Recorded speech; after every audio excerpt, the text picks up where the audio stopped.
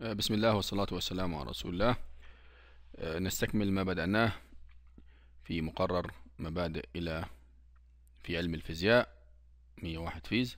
اليوم هناخد الوحدة التاسعة وهي بتتضمن موضوع جديد ألا هو الخواص الحرارية للمادة. طبعا بالنسبة للحرارة كلنا بلا شك نحس بها نحس بالحرارة ونلمسها. ولكن هذا الإحساس ليس كافي عشان نعرفها إذا لابد من ترجمتها إلى تعاريف دقيقة ومفاهيم محررة وكميات معينة قابلة للقياس. ومن هنا بدأنا أو هناخد هذا في هذا الموضوع اللي هو الخاص الحرارية للمادة عشان نقدر نعرف الحرارة تعريف دقيق ونفهمها مفهوم دقيق ونحولها إلى كميات معينة وتكون قابلة للقياس. الحرارة. أولا هي بتصف رد فعل المادة. نحو درجة حرارة توصيل الحرارة درجة حرارة الغليان درجة حرارة الغليان التمدد والتقلص. توصيل الحرارة عبارة عن قدرة المادة على نقل الحرارة. هناك مواد جيدة الحرارة جيد توصيل الحرارة ودي بتنقل الحرارة بشكل جيد فتتمدد أسرع وهناك مواد رديئة التوصيل للحرارة. وقدرة المادة على نقل الحرارة زيها زي كفاءة المادة. كفاءة المادة يعني كفاءة الآلة. أنا لما يكون عندي دينامو أو موتور موتور مثلا الموتور ده هو عبارة عن جهاز بيحول الطاقة الكهربية إلى طاقة حركية. وكفاءة هذا الجهاز اللي هو الموتور هو عبارة عن الطاقة الناتجة اللي هي الطاقة الحركية على الطاقة اللي بديها له اللي هي الطاقة الكهربية. فدي كفاءة. كذلك التوصيل الحرارة كذلك المادة. المادة لما أنا أجيب أنا عندي مادة والمادة دي بسخنها تمام؟ يعني آه، بسخن طرف. قدرة المادة على إنها توصل الحرارة من طرف إلى آخر كأنها كفاءة. يعني أنا عندي مثلا مادة زي كده ولتكن مادة جيدة التوصيل وعندي درجة حرارة T 1 وعندي درجة حرارة T 2 و T 1 أكبر من T 2 هتنتقل الحرارة من T 1 إلى T 2 عشان يبقى يحدث الاتزان الحراري. قدرة المادة على نقل الحرارة من الطرف الساخن إلى الطرف البارد كأنها كأنها كفاءة. تمام؟ الطاقة الحركية بتعطي طاقة حرارية والدليل على ذلك إن إحنا لما بنتحرك ونجري جسمنا بيسخن. يبقى إذا الطاقة الحركية هي في النهاية بتؤدي إلى طاقة حرارية. الطاقة الميكانيكية تعطي طاقة حرارية. ما هي الحركية؟ هي ميكانيكية. إزاي نحول الشغل إلى حرارة؟ طبعا في الأول خالص كانوا بيعتقدوا إنه احتدم النقاش من زمن طويل إلى مفهوم الحرارة. حتى العلماء حتى توصل العلماء في القرن السابع وال- والقرن السابع عشر والثامن عشر إلى مفهوم السائل الكالوري كالوري. طبعا ده بينص على إن إيه؟ الجسم الساخن بيحتوي على قدر كبير من هذا السائل والجسم البارد بيحتوي على قدر كمية أقل. وبالتالي لما يتلامسا هذان الجسمان يسري السائل الكالو- الكالوري من الجسم الساخن إلى الجسم البارد. ولكن هذا المفهوم استمر طبعا فترة من الزمن لغاية ما لاحظ رومفورد في إنجلترا إنه عندما يثقب مواسير المدافع ودي طبعا بتبقى من كتلة حديدية الكتلة دي وكذلك المثقاب المستخدم يسخنان بشدة رغم أنهما كانا باردين في البداية. وبالتالي نشأت فكرة أن الشغل هو حرارة يؤدي إلى حرارة. الشغل شغل إحنا بذلنا شغل كتلة حديدية بتثقب بنبذل شغل نشأت حرارة. يعني الشغل تحول إلى حرارة. وكمية ثابتة من الشغل تعطي كمية ثابتة من الحرارة.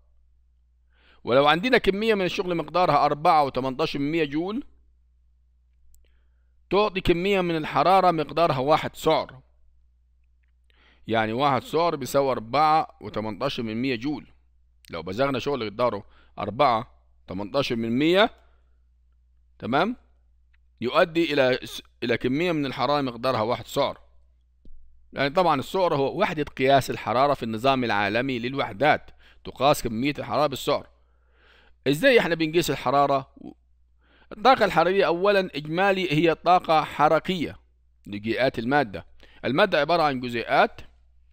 الوحدة البنائية للمادة هي الذرة مجموع الذرات تديني جزيء زي مثلا جزيء الهيدروجين H2 أو جزيء الأكسجين O2 أو جزيء الماء H2O تمام؟ من من عنصرين مختلفين الهيدروجين والأكسجين.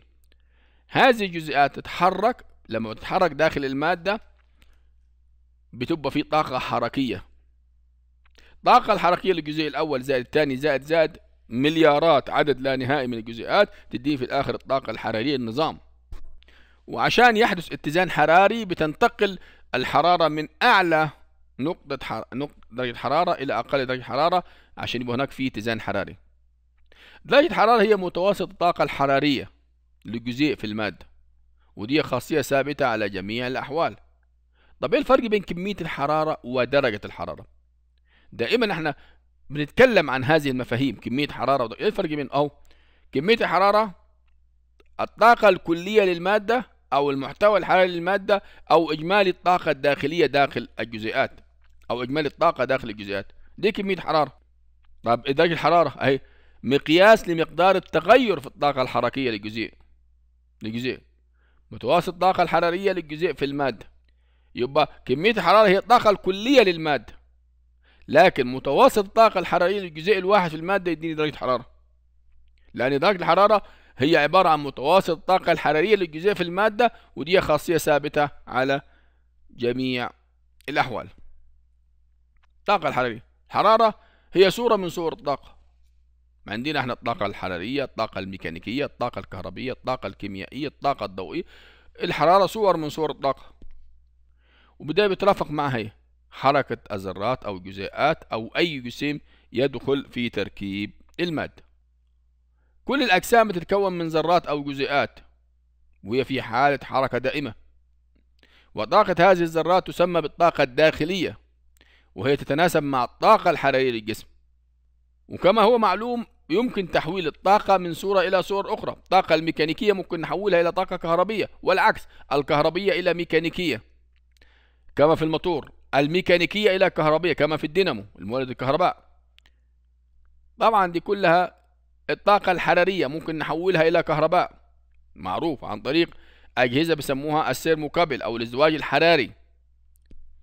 الازدواج الحراري يمكن البعض منكم ما تعرفش ليه لكن أهو ده عبارة عن كده وفي هنا جهاز بي. لما تكون هنا عبارة عن نقطة اتصال ونقطة اتصال من مادتين أنتيمون مثلا وبزموت وهنا درجة حرارة T 1 أكبر من تي 2 يعني هناك فرق في درجة. فرق في درجة الحرارة يؤدي إلى مرور تيار كهربي يعني انحراف في المؤشر ده. يبقى نحولنا الحرارة إلى طاقة الطاقة الحرارية طاقة كهربية. والطاقة الكهربية ممكن تتحول إلى طاقة حرارية وهكذا. يبقى إذا ممكن نحول الطاقة من صور إلى أخرى وبالتالي يمكن الحصول على الطاقة الحرارية. من؟ الحصول على الطاقة الكيميائية. عن طريق التفاعلات الكيميائية كالاحتراق. تفاعلات كيميائية بيحدث فيها احتراق احتراق ده يؤدي إلى طاقة حرارية. يبقى الطاقة الكيميائية حولناها إلى طاقة حرارية. الطاقة النووية عن طريق التفاعلات النووية كالاندماج النووي والمثال الكبير المثال يعني مثال واضح للاندماج النووي اللي ما يحدث ما يحدث بالشمس. لأن درجة الحرارة الخارجية للشمس على سطح 6000 درجة مئوية والداخلية بالملايين. ودي هذه الحرارة ناتجة عن اندماج نووي أو اندماج هيدروجيني للجزيئات المكونه للشمس. طاقة كهربية. الطاقه الكهربائيه تتحول طاقة حرارية عن طريق الدفايات أو السخانات الكهربائيه وغيرها.